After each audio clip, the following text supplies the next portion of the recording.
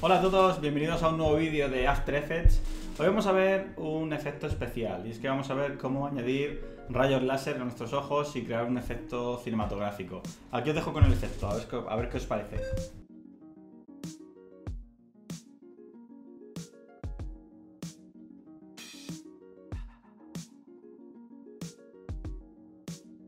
Bien, una vez que estoy ya aquí en el archivo de, After, vamos a ver cómo, lo he hecho. Eh, lo único que quería comentaros antes de empezar es que eh, entréis en la página de Video Copilot. Vale, como iba comentando, Video Copilot es una página fundamental para todos los que estéis interesados en el, aprendizaje de los motion graphics, de los, de los, VFX y de todo, de todo el mundo de After en general y es que este, esta página está cargada no solo de tutoriales, sino de cantidad de plugins y de, de productos, elementos que podéis adquirir. Muchos son gratuitos, otros son de pago, pero que os van a permitir llegar a, todo prácticamente en After Effects. Y la verdad que esta página, que empezó siendo bueno, como una página de poner en común efectos, plugins y, y, tutoriales, ahora se ha convertido en un referente prácticamente de After Effects. Y todo el mundo la conoce, todo el mundo pasa por ella y la verdad que, que los materiales que tiene son tremendos. Aquí, por ejemplo, os estoy enseñando el Action Essentials, que tiene un precio, fijaros aquí, de, de 250 dólares, 100 dólares si lo tenéis en una resolución de 720p. Y bueno, la cantidad de material que tiene esto es bestial, referente a efectos, disparos, fuego, explosiones, etcétera, muy usados, eh, todo preparado para alfa, para integrarlos perfectamente. Digamos que los materiales que viene no son eh, eh, tremendamente caros y muchas veces si entráis a alguna producción o trabajáis como freelance pueden llegar a ser algo bastante útil. Bien, el efecto que os quería enseñar ahora, hoy que es el que vamos a utilizar dentro de Video Copilot y me gustaría que os descargarais, es el efecto Shaver, es este de aquí. Si ponéis Shaver aquí en la búsqueda, aquí tenéis el plugin, ¿de acuerdo? Y este efecto es el que nos va a servir para poder poner el láser, los efectos de láser. Lo que vais a hacer aquí es darle a Download Plugin y os lo bajáis. El instalable es muy sencillo, simplemente tenéis un archivo de WinRAR que os aparece y eh, dependiendo en qué sistema operativo estéis, lo ejecutáis y lo instaláis. Y automáticamente, si yo voy a After Effects, me va a salir aquí. Me voy a la pestaña de efecto y aquí Video Copilot, y aquí ya tengo mi efecto de Saver, que es que, el que he instalado.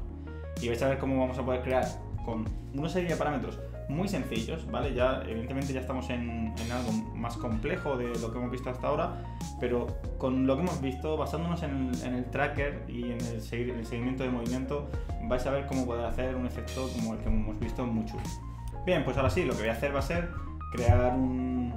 Tengo aquí mi vídeo, ¿vale? Vosotros podéis, bueno, podéis haber conseguido uno vuestro, os pasaré este si os interesa. Aquí veis, eh, hago un ejercicio de acting espectacular. Este es mi vídeo al cual le voy a integrar el efecto. Vale, genial. Yo ya lo tengo recortado, es decir, he marcado con estos parámetros de aquí cuando quiero y cuando, quiero, y cuando quiero que empiece y cuando quiero que termine el vídeo. Y ahora voy a crear una composición nueva. Voy a crear una nueva composición y esta la voy a llamar eh, enseñar efecto, ¿vale? Porque es el que voy a enseñar a vosotros. Vale, sobre esta composición lo primero que voy a hacer va a ser un tracking de los ojos, ¿de acuerdo? Pero no tengo que hacer un tracking en todo en todo el rato, simplemente en el punto que yo considero que va a empezar, eh, que va a, empezar a salir mi efecto, ¿vale? Yo de hecho lo voy a marcar a partir de aquí. A partir de aquí quiero que, que, que, empiece a hacer el track de los ojos, ¿vale? Entonces para ello muy sencillo. Voy a crear aquí un objeto nulo, ¿vale?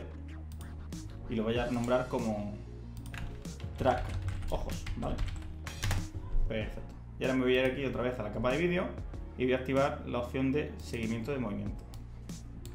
Eh, como yo en mi vídeo hago, no solo me muevo en posición, sino que eh, hago alguna pequeña rotación, voy a activar también eh, no solo la pista de posición, sino la de rotación. Y voy a marcar ambos ojos, que van a ser mis puntos de track.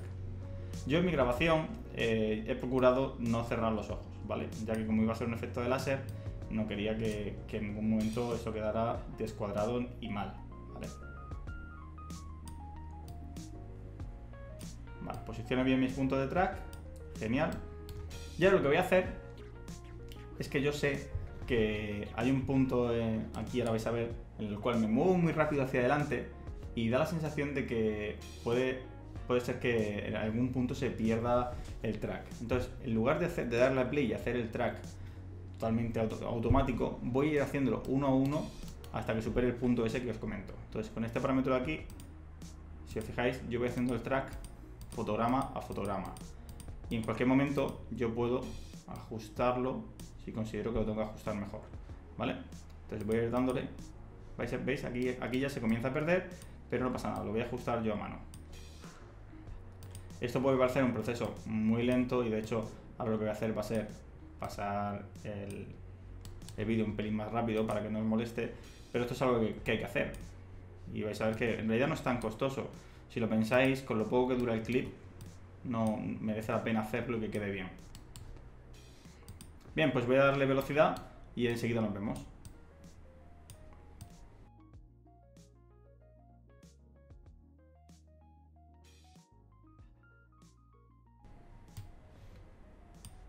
Bien, ahora que he terminado, ya tengo aquí mi track hecho por si queréis verlo. Aquí voy, va siguiendo el movimiento del ojo y vuelve. Eh, vais a ver que no me he preocupado excesivamente en cómo estaba quedando, porque vais a ver que más o menos con relativa facilidad podemos hacer que quede bien.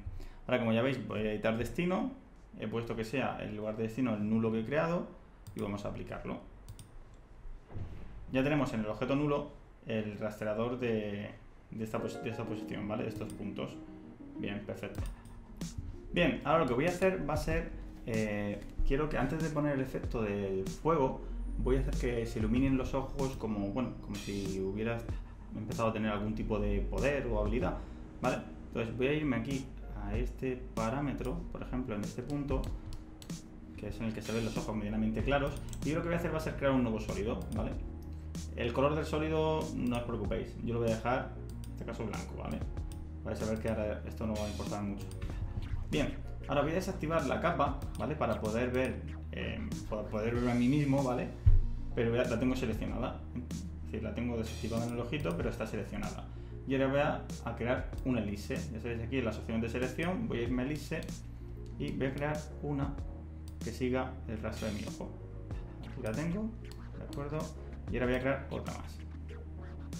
Si no ha quedado como os gusta, simplemente si os vais aquí, por ejemplo, a selección, la selección de pluma y clicáis y mantenéis pulsado Shift, ahora ya la podéis mover y ajustar un poco si, si creéis que necesita ajustarse. Bien, por aquí.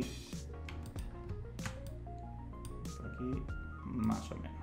¿vale? Aunque tampoco es necesario que siga el contorno del ojo de una manera muy estricta. Ahora voy a hacer que eh, este sólido blanco, que voy a decir que es, en este caso, brillo ojos. Es importante que todo lo tengan bien nombrado. Voy a hacer que siga el movimiento del track, del track que he creado. Y si os fijáis, con una mayor o peor definición, pero ahí lo va siguiendo, ¿lo veis?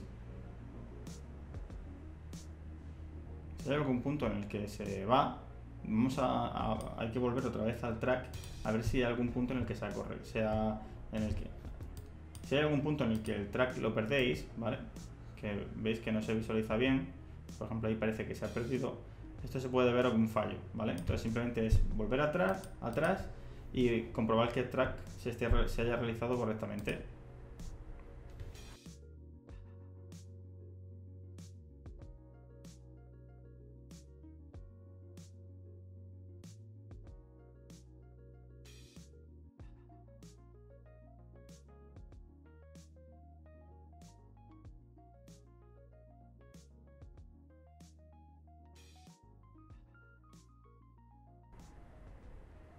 Vale, ahora sí, si nos fijamos, ya tengo el track perfectamente funcional, ¿de acuerdo? Pues ahora voy a ponerme aquí en el punto que me ha marcado, voy a activar, voy a activar de nuevo la máscara y si me fijo lo único que tengo alrededor de ella es una especie de, bueno, de una máscara blanca que va a su alrededor. Bien, pues nosotros vamos a abrir las dos máscaras que tenemos aquí y lo que vamos a hacer va a ser aumentar el calado de ambas a la vez, ¿de acuerdo? Para hacer un difuminado que haya en torno a ellas. Vamos a dejarlo en unos parámetros de depende un poco, no hay ningún parámetro exacto. Podemos cambiarlo en función de, bueno, de, la calidad de imagen que tengamos. Yo lo voy a dejar en un total de... Vamos a ver, parámetros, va por aquí bien. Un 7 se ve bien, un 6 tampoco se ve mal. Vamos a dejarlo en un 8, ¿vale? Perfecto. Si ya me brilla un poco, brilla un poco los ojos, vamos a bajarlo a 7, perfecto. Ya lo que voy a poner va a ser un efecto de resplandor. ¿De acuerdo? El efecto de resplandor va a ser el que me va a permitir integrar este brillo que tiene en los ojos, ¿vale? Y que parezca un look mucho más realista.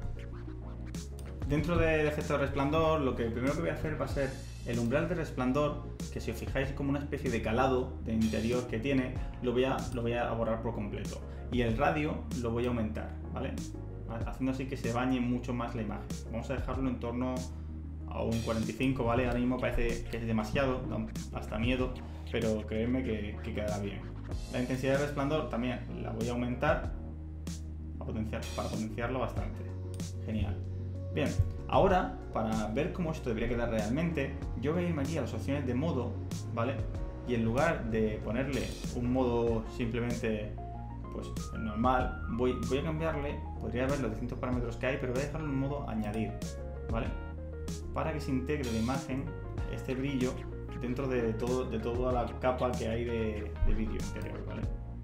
Bien, y ahora lo que voy a hacer, junto con esto, voy a irme aquí donde pone eh, colores de resplandor y en lugar de dejar color original, ¿vale? Que es el brillo que tiene de fondo, voy a cambiar a colores AB. Al cambiar a este tipo de colores, ya me permite que yo con estos dos, con estos dos parámetros de aquí controle el tono que va a tener en general. Voy a poner aquí un tono, bueno, pues fuego, ¿vale? Que es lo que el fondo quiere, quiere, quiere, mostrar. Y vamos a ver aquí, para que se ajuste un pelín más, voy a bajarle un pelín el radio. Vale, ahí está. O aumentarse un pelín más. Vamos a, apuntar, a aumentárselo a estos puntos de aquí, de 55 o así, este parámetro, hasta que veamos que queda de un tono que a nosotros nos gusta. Bien, ahora lo que voy a hacer va a ser, voy a duplicar el efecto. Voy a añadir uno más para añadir un, segundo gradiente de color, un segundo tono, ¿vale? Y lo que voy a hacer en este caso va a ser aumentar el radio muchísimo. En torno a los 190, 200, ¿vale? Para que haga un baño general de iluminación. La intensidad voy a dejar tal cual. Y lo que voy a hacer va a ser cambiar hacia unos tonos un pelín más oscuros. ¿De acuerdo? Aquí ya como veis, ya empiezo a tener este elemento que esto ya empieza a funcionar bastante bien. Como veis, ahí engancha y ahí tengo el efecto, ¿vale? Listo. Vale, genial.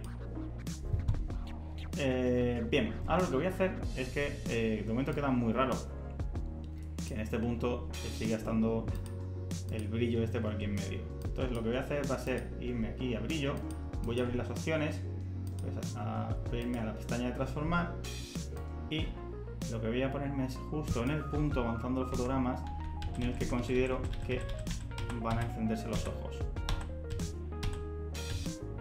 Yo considero que en este punto es el punto genial para que los ojos estén activos. Voy a, hacer un fotograma clave y voy a irme al fotograma anterior. voy a irme tres fotogramas anterior y voy a ponerlo a cero. Bien, para como veis lo que hace es que... Disculpad. Disculpad que lo he borrado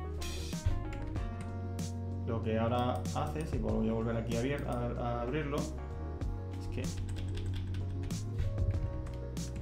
tres fotogramas antes, va avanzando, ¡pum! ilumina, ¿vale? Y ahora voy a repetir un proceso, pero a la inversa. Una vez que la iluminación vaya, el láser vaya a terminar, que es en este punto, está todavía, y aquí ya, ya no está. Lo que voy a hacer va a ser bajar la opacidad a cero. Bien, ahora sí, yo quiero, voy a ver cómo, va quedando. Aquí estoy. Estoy atentos porque esto tarda bastante en procesar y ahí empieza a salir el láser. Vemos que el track eh, ha habido un pelín que se me ha ido un poco, pero bueno, no pasa nada, creo que puede quedar bien de todas maneras. Y después, cuando me retiro, se apaga. Vale, genial, esto ya lo tenemos. Bien, ahora sí, lo que vamos a hacer va a ser empezar a trabajar ya con el efecto de shader, que vais a ver lo útil que es. Aquí ya tenemos esto, este parámetro que es bastante complejo, lo voy a minimizar y voy a crear un nuevo sólido. ¿Vale? Como igual que antes, el color da igual, vamos a dejarlo así blanco y lo voy a llamar, eh, en este caso vamos a llamarlo fuego, ¿de acuerdo? Y ahora lo que vamos a hacer es irnos aquí a la pestaña de efectos, Video Copilot y vamos a añadir efecto Shader. Al añadirlo veis que se nos aparece por defecto esta, esta luz y no, aquí tenemos puesto el efecto, ¿vale? Que vais a ver que tiene mogollón de parámetros. Si nos vamos a preset, vais a ver que podéis cambiar entre mogollón de elementos, ¿vale? Si vamos a place, aquí ya tenemos como mogollón de efectos láser desde este que es puro fuego, hasta otros que hay, en este caso de Ghost, Fantasma, y muchos que os recomiendo que le echéis un vistazo y que, bueno, que lo disfrutéis porque se pueden conseguir auténticas maravillas con ellos. Bien, para poder, ver, para poder ver perfectamente el efecto, lo que vamos a hacer es que en el modo vamos a cambiarlo de modo normal a modo pantalla. De esta manera, como si fuera un alfa, lo que haremos será quitar todo el fondo negro. Y aquí ya lo tenemos ya integrado. Yo, en este caso, voy a utilizar el efecto fuego, ¿vale? Porque es el que he utilizado antes y queda bastante bien. Aunque también lo he probado con el de Firestone y no queda nada mal, ¿vale? Pero depende de lo que queráis en general. Pues, si queréis hacer cualquier otro efecto que sea distinto, ¿vale? Que no sea fuego, lo podéis conseguir también y lo podéis aplicar, ¿vale? Yo voy a quedarme en este caso con el de Fire, perfecto. Y ya lo tengo aquí, ¿vale? Como ya lo tengo aplicado, ahí está el fuego saliendo. Y ahora vamos a ver cómo configurarlo y adaptarlo a nuestros ojos, ¿vale? Bien, si nos fijamos, lo primero que vemos es que dentro del fuego tenemos dos elementos, ¿vale? Eh, como dos puntos, uno aquí arriba y otro aquí abajo. Si yo voy viendo cómo se va reproduciendo el vídeo, veo que el fuego va de abajo hacia arriba, ¿vale? Con lo cual, este punto de aquí, yo voy a ajustarme justo en el punto donde va a salir el fuego.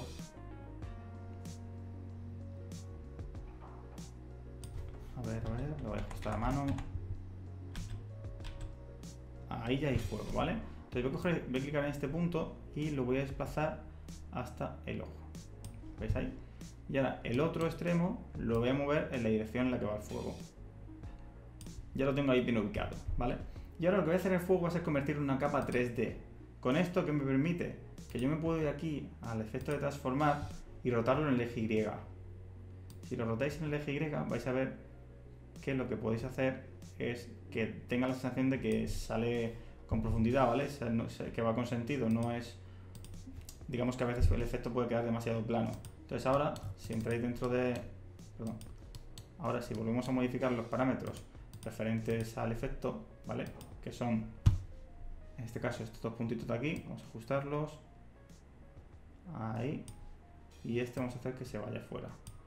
Si veis, aquí no se está yendo fuera, esto es porque debemos comentar la escala, ¿vale? Si nos vamos aquí, vamos a aumentar la escala, ¿vale? Ya lo tenemos. Y ahora vamos a entrar dentro otra vez del preset y lo vamos a ajustar. Ahí está bien. Y este que sale por aquí. Así que genial. Vale, ya lo tenemos. Recordad no perder este frame, que es el que hemos puesto aquí de inicio y desde el cual vamos a empezar a trabajar. Eh, ahora vais a ver que cuando queramos, digamos, movernos por el efecto si va demasiado sobrecargado el vídeo, podemos desactivar lo del Enable Glow, ¿vale? Para que estas segundas capas de brillo no se reproduzcan y así podamos hacer que vaya un pelín más rápido, ¿vale? Eh, aquí hay muchísimos parámetros y todos los modificaréis a su tiempo, ¿vale? Viendo si merece la pena o no. Nosotros vamos a ver cómo cambiar algunos, algunos por encima y ya integrar el efecto. Vale, si entramos dentro del Customize Core, el core es como el núcleo, ¿vale? Eh, la base del efecto.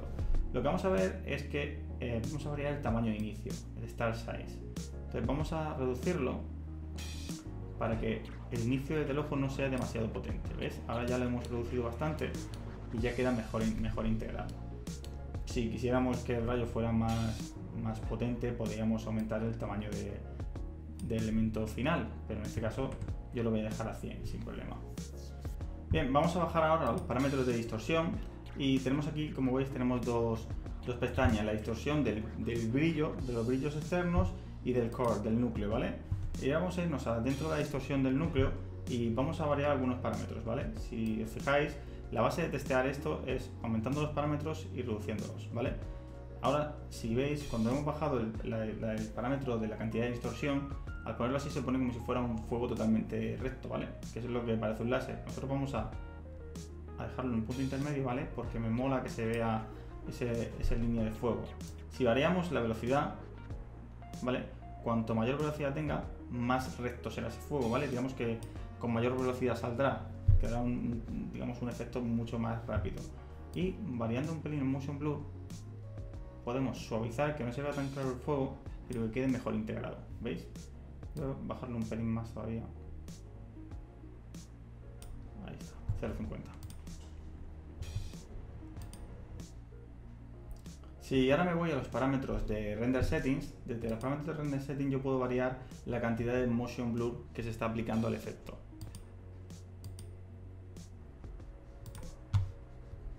Para ver el, funcionamiento que tiene este, si vosotros lo subís al máximo, veis cómo reacciona y cuando bajáis veis cómo queda. El motion blur eh, no se ve directamente en este, en este punto, sino que se ve cuando se está moviendo, digamos que es el difuminado que hace. Yo voy a aumentarlo a reducirlo un pelín, ¿vale? Porque quiero que se vea el fuego, voy a reducirlo a 0.80 y ahora, yo os digo, no os mareéis mucho con esta mm, gran cantidad de parámetros porque al final es todo trastear y lo sacáis. Ahora con el Glow Settings, aquí sí que es interesante, mm, veis que tenemos hasta cuatro capas de Glow. Glow son distintos brillos que hay. Si vais variando el, digamos que el, el size, el tamaño de cada uno de ellos, vais viendo cómo estos se potencian o se reducen, ¿vale? Entonces, vamos a intentar ajustarlos para hacer que el fuego sea lo más concentrado posible. Ahora ya he reducido un pelín el fuego este lateral. Si veis el Glow Size 2, vais a ver que es otro más.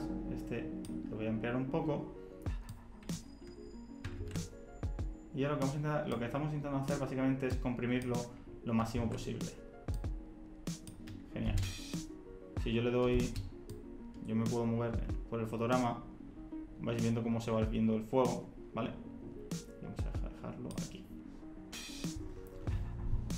Vale, para que no se nos alargue mucho el vídeo, eh, vamos a dejar este, este efecto más o menos así, con este tipo de fuego. Aunque he de decir que quizá, si nos vamos al core y vamos a, en este caso, la explosión, no tanto, vamos a aumentarlo Lo que voy a hacer va a ser reducir la velocidad un poco.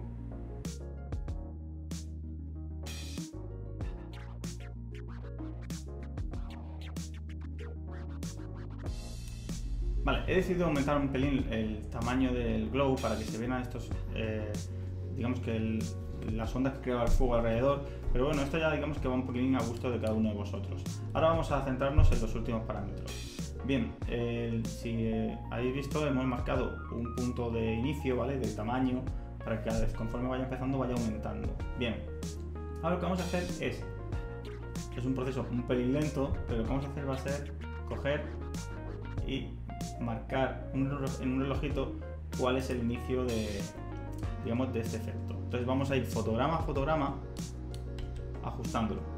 Bien, como veis no es necesario ir exactamente fotograma a fotograma. Yo me puedo mover tres fotogramas adelante y ya cuadrará el efecto. Más o menos al punto en el que esté.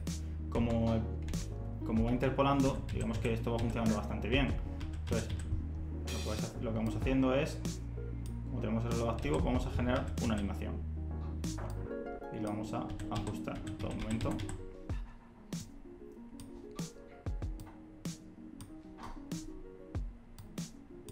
Estos casos esto no supone un gran problema porque el personaje no se suele mover mucho cuando está haciendo fuerza, pues en este caso se está concentrando muchísimo para lanzar el efecto del láser, entonces no suele haber mucho problema.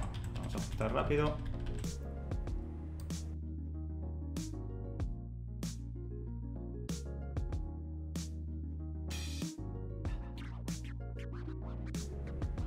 Vale, genial, ya lo tenemos ajustado.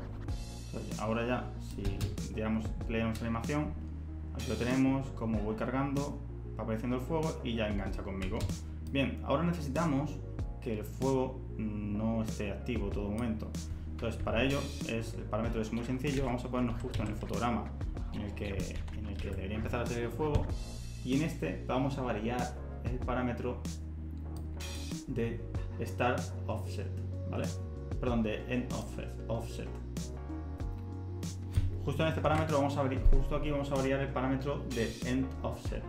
Este lo que nos marca, si nosotros lo ponemos a cero, fijaros que nos marca cuando inicia el fuego. Entonces lo vamos a darle al relojito y lo vamos a poner, en este caso, a cero. ¿Vale? Vale, justo lo que vamos a hacer ahora va a ser marcar en qué punto queremos que empiece el fuego. Entonces para ello vamos a animar dos fotogramas más atrás, ¿vale? Que estos no los tenemos animados. Aquí y este de aquí. Genial. Y aquí es cuando yo comienzo a ponerme a, los ojos a empezar a brillar. Entonces aquí vamos a ir al, al offset, ¿vale? Al end offset y lo vamos a poner a cero y vamos a activar el reloj. Aquí significa que no va a haber ningún fuego y en este fotograma vamos a ajustar, vamos a poner uno más, aquí va a estar a 100. ¿Qué hacemos? Eh, ¿Qué provocamos haciendo esto? Que eh, haya cuatro fotogramas en los cuales el fuego sale y se lanza, ¿de acuerdo? Si repetimos este proceso al final, al final vais a ver que si nos vamos a estos fotogramas, aquí el fuego debe estar al máximo, entonces en lugar de tocar el offset del final, vamos a tocarlo del principio. Aquí va a estar a 0 y aquí ya tiene que estar a 100. ¿Qué significa eso? Que el fuego debe de haber, como veis, y cuando yo lo voy subiendo se va marchando. Se voy a poner aquí a 100 y ya está, ya se ha ido. Es como que aquí desactivo el láser y sale la última ondonada de fuego. Eh, ahora para hacer el, otro, el otro ojo eh, es un proceso sencillo pero un pelín tedioso. Vamos a ver cómo está quedando esto aquí. Como veis ha quedado bastante bien. Para hacer otro ojo, ¿vale? Lo comento rápido y ya yo ya lo voy a hacer automático. Lo único que tenemos que hacer es coger esta capa de fuego y duplicarla. Con control D duplicamos. Yo en este caso lo vamos a nombrar como fuego derecho, ¿vale? y lo que tenemos que hacer es irnos aquí. Todos estos parámetros están bien, ¿vale?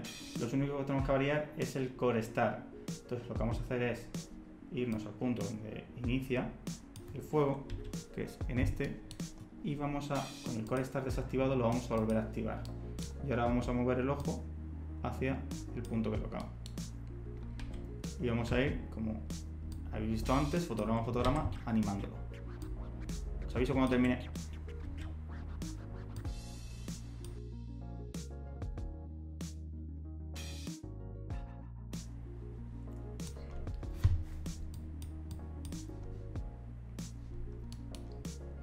Lo considero necesario, ahora ya que he terminado, yo puedo irme al final y mover este punto un pelín, digamos, para que se vean las dos líneas de los dos ojos y aquí así quede un pelín más claro y no se confunda todo, ¿vale?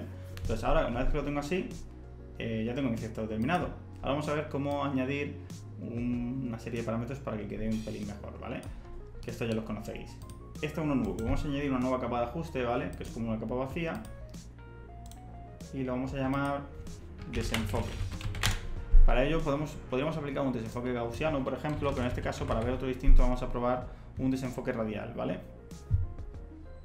Aquí lo tenemos, desenfoque radial voy a hacer doble clic y aplicarlo. Fijaros qué es lo que sucede cuando tenemos aplicado. Esto lo voy a reducir a cero, ¿vale? Para que no lo veáis. Y lo que vamos a hacer va a ser que justo en el punto donde vaya a salir el fuego se produzca como, digamos, como una especie de, movimiento en la fuerza, ¿vale? Por decirlo así, para que quede todo mucho mejor. Entonces vamos a, activar el relojito de nivel y justo en este fotograma, antes de salir, esto va a estar a cero. Ahora, cuando lo activemos, el nivel lo vamos a subir a 7, ¿vale? Para provocar un desenfoque bastante fuerte. Y ahora nos vamos a mover 5 fotogramas adelante, por ejemplo, y aquí lo vamos a volver a bajar a 0. Y ahora vamos a ver qué efecto es lo que genera, ¿vale? Vamos a dejar que cargue y ahora lo enseño.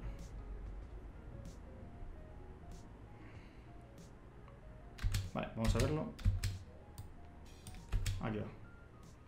¿Veis? Si os fijáis, lo que ha provocado es como ¡pum! un zumbido general de la fuerza con la que sale el fuego. Genial. Veis que queda súper bien integrado.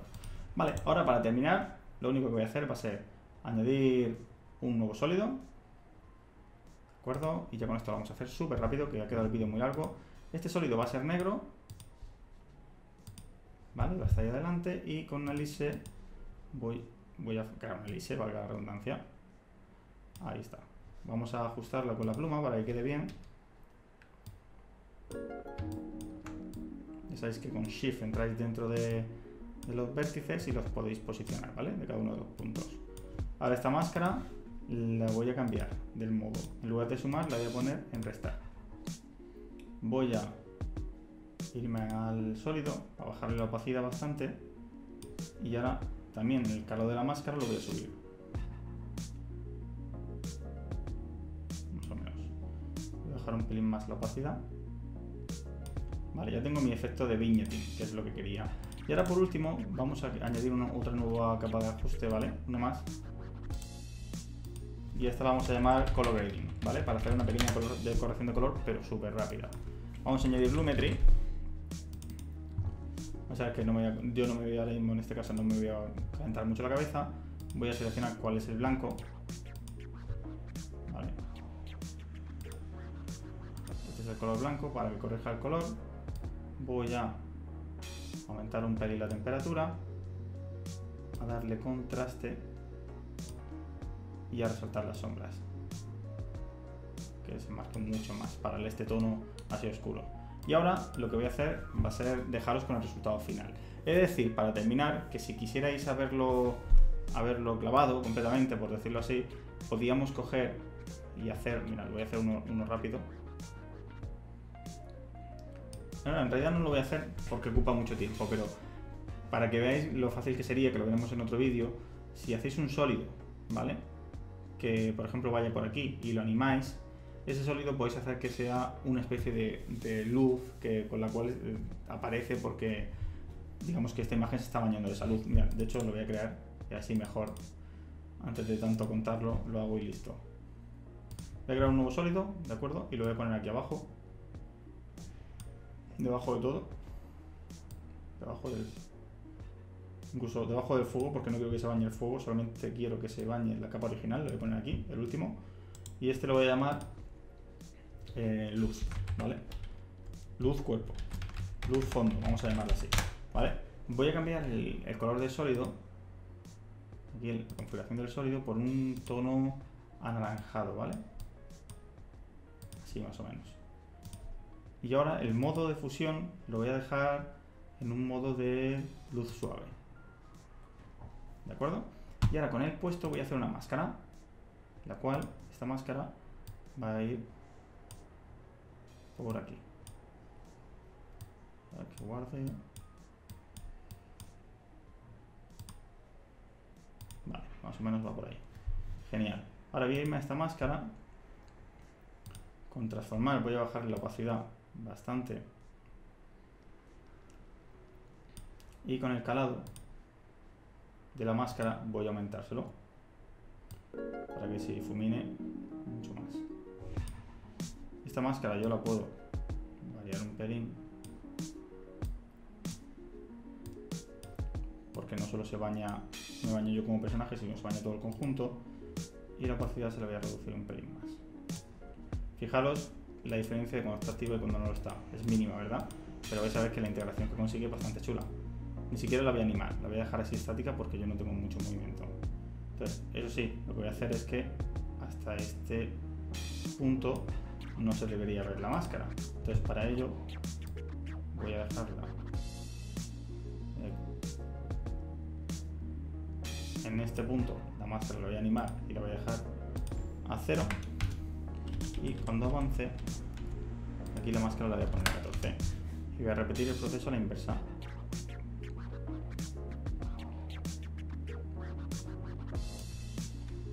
Justo aquí ya voy a hacer una más a 14 y en el siguiente fotograma esta máscara debe haber desaparecido. Genial. Vale, pues ahora ya os dejo con el resultado final. Muchas gracias por ver este vídeo. Nos vemos pronto. Hasta luego.